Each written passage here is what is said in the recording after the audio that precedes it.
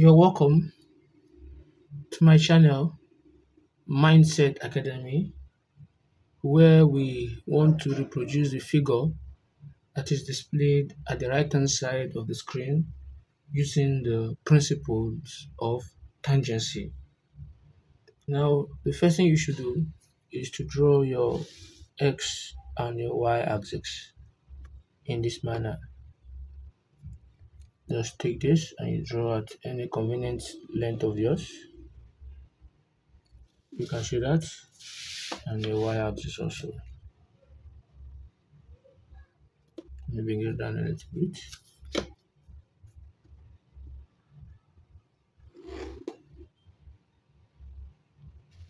but you can see that this is where they are meeting, which is this point my meter my arrow is pointing.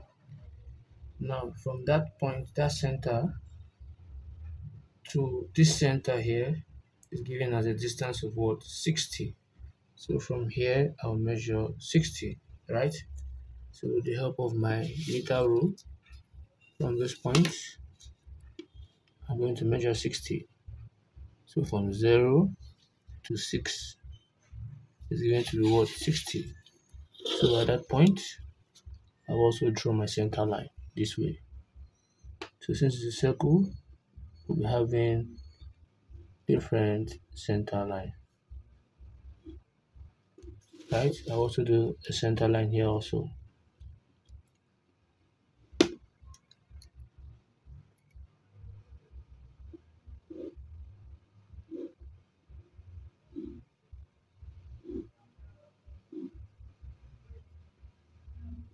Right and this also.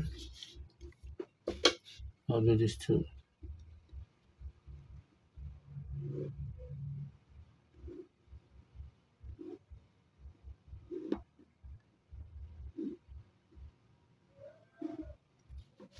I see that these are the center the two center line that I've brought out. Now in the first center line as in this point where my arrow is pointing the radius of this circle here you see this arc here given as radius of what 10 right? So i'm going to measure the radius of 10 on my meter rule this way from um, 0 right to 10 hope you can see that. From 0 to 10 what we have and I'll place it at the center here. And I'll draw but I'll be using faint line. First of all hope you can see that. Now at this other center here there's another circle here. And that circle has a diameter of 16 that's the inner circle but we don't need diameter. What we need in tangency is what? Radius so if you divide 16 by 2 you'll be having what? You'll be having 8 so i'm going to measure 8 from 0 this is 8 here. Can you see that? And i'll place it at this point here where i'm going to draw my circle. Right now taking it.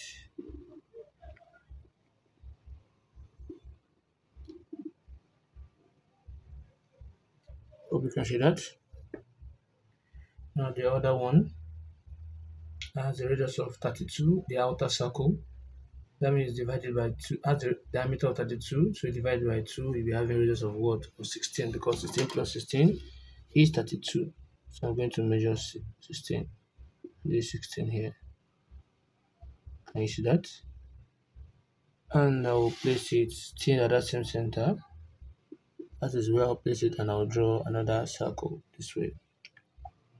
Wait, I'm going to take in.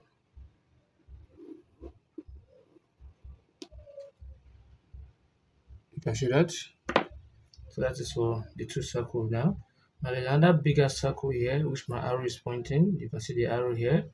Now the radius of that circle is given to be what? 27 right? But before you can get that circle the center of that circle will be a distance away from this center and that distance is what is 8 so before I can draw this circle I need to measure 8 right? So I'll measure 8 away from the main center here. So from 0 here to what? To 8 is 8 here that point.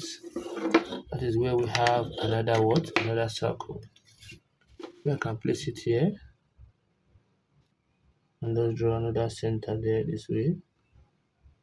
Let me bring it down a little bit.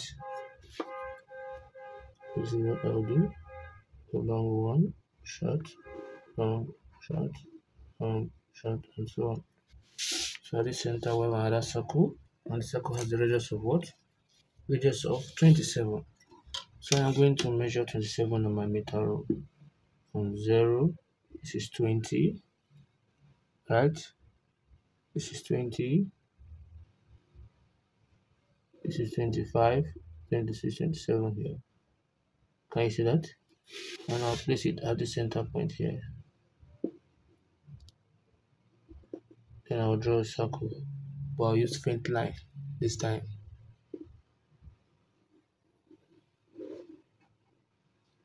now if you notice it? I'm using the same faint line. Unlike here I use a thick line because this is not a complete circle. So from this circle we'll get the shape that you can see. That's why I'm using faint line both for these two here. Now let me start with this. I have the radius of here to be given to be 14 that is this arc here. The arc is somewhere around here right? Connecting this and this together. And um, it is offset from the center of the main uh, this from the center line. It is offset 5 millimeter away that means a distance of 5 millimeter right? So what i'm going to do is i will add this 5 and this 14 together. Is that the king because the circle is 5 millimeter away from this main line here. So if i measure 5 plus 14 i'll be having 19 so that is the 19 i'm going to move from this center point here. Any of the center you want to from here i'm going to measure 19 this is 10 this is 19 here. Can you see that? And on that point I'll just draw a faint line right? Just a faint line this way. Hope you can see that. Now aside that now this circle is going internal like the circle is going what? Is going is external that's the key which I'll explain to you now it is external so I'm going to add that the key and where is it connecting to? It's connecting to this bigger circle. So I am going to add the radius of what 27 and that of 14 because this circle is connected to this circle, right? Externally. So I'm going to add 27 and 14. I'll explain what I mean by externally here now. So when you add 27 by 14, I'll, I'll be having um 41, right? So I'll measure 41 on my meter rule. measure 41 on my meter rule. So from 0 this is 40 and this 41 here. Can you see that? And I'll place it at the center. Which center? The center that makes this bigger circle. And center that makes bigger circle is the center here. So I'm going to place it at that point I'll strike an arc so this is where it is meeting it here right? So from that point I'm going to draw a circle this way. Just take this center point as my reference point.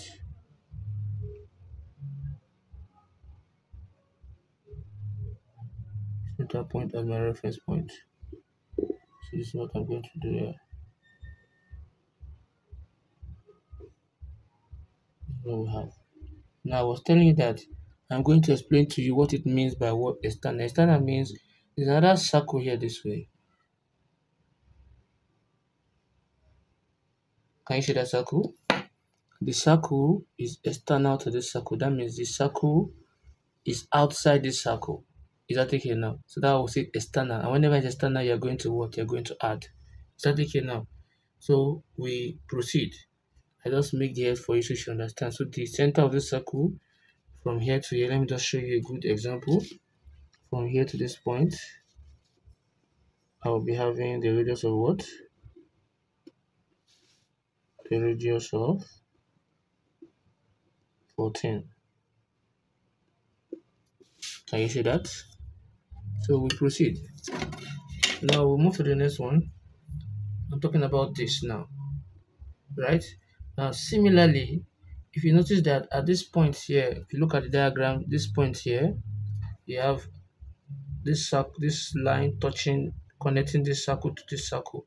There's a line, then there's an arc connecting this circle to this circle here, right? And the arc has a radius of what?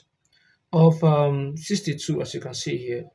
Is that the But one thing you need to understand is that the arc is external to this circle. I've explained to you now with this, which I will explain again to you. So the arc is external to this circle. So you are going to what? You are going to add, right? So first of all, what is the radius of this circle? The radius is what? Is 10. And what is the radius of that arc? That is what? 62, right? So 10 plus 62 will give us 72. So I'm going to take my meter rule. I'm going to measure 72 from 0. This is 72, right? From 0 to 72. Is that taken? And I'll place it at the center point here. And I'm going to strike an arc at one side here. hope you can see that that for that one it's external that we're adding. Why? On this part here right it is internal. That means the circle is inside the main circle which i will explain to you. So you're going to subtract. So what is the radius of this circle? That will be 16 that is half of 32 will be what? 16 since this 32 is diameter so you divide by 2 to become radius and that will be what? 16 so we have the 16 plus the radius of that arc connecting both of them, which is 62. 16 plus 62, that'll give us what? That'll give us 40, what? 46, right? So I'm going to measure 46 on my meter rule. From 0, this is 45, and this 46 here. Hope you can see that. And I'm going to place it at the center of the circle I'm considering. Then I'm going to strike an arc. And this is where they are meeting here. Can you see that? So I'll now take my compass and I'll place it at this point here where they meet. Then I'll take it to one of the circles, right?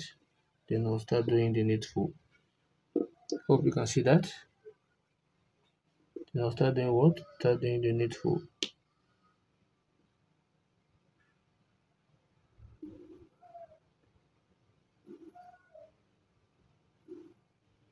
This is what we mean by what? They are connecting. So I will show you a good experiment here now. If I should complete this this way, see what's happening? If I should complete this this way, say I want to continue. See this arc coming here. You don't have to do this. I'm just explaining. Coming here. Now, what do you notice? This arc you're seeing, this circle you're seeing here, is external to this right? The circle is what? Is external. That is why what? I am subtracting the radius of what I'm adding both of them with this.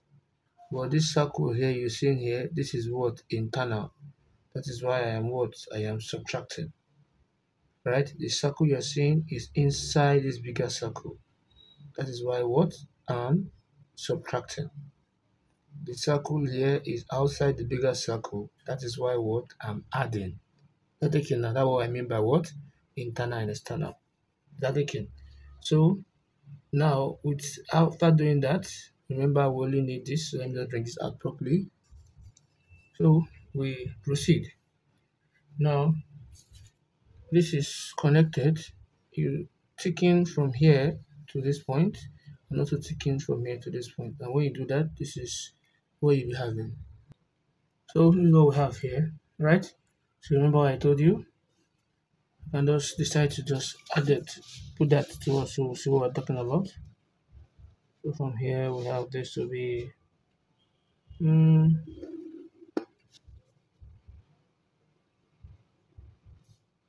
radius of what 62 if I want to now we'll proceed now that doesn't end there. There's another circle where my arrow is pointing right? The radius of that arc is 14 so what I'll do is from this point where the arc is connecting which is this point my arrow is pointing and I'm going to measure 14 from there.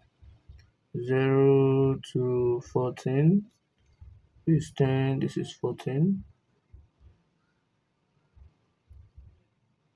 right at this point that point we have another center and just put that out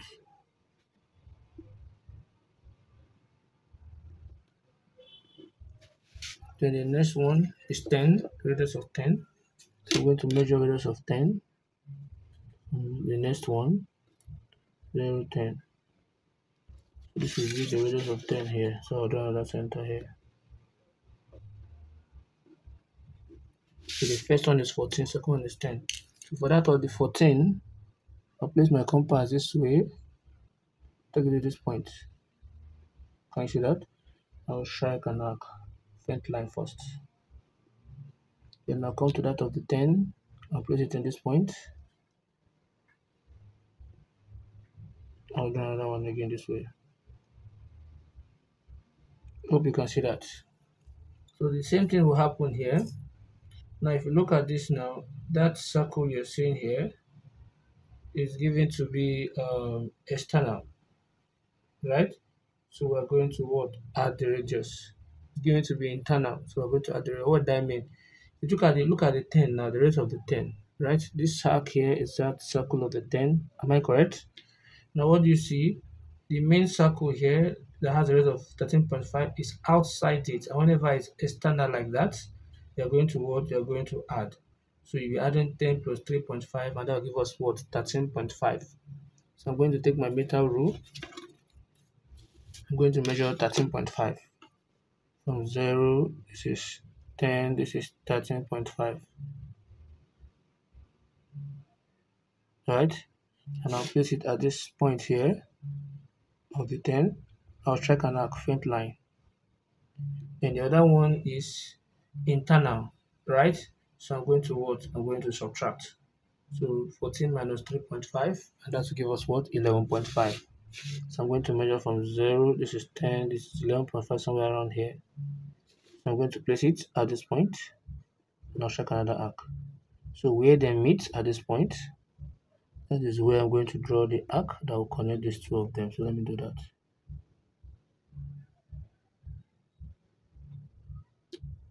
hope you can see that so I will not taking the rest how you taking the rest you place this one so this down one here.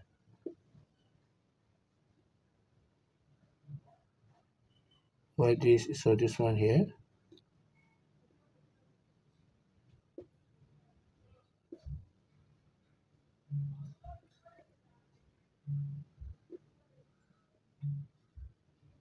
Right? So we're successfully reproduced the figure that is displayed at the right hand side of the screen using the principle of tangency. And it's important for you to draw out what draw out your dimensioning which is what I am going to be doing right away.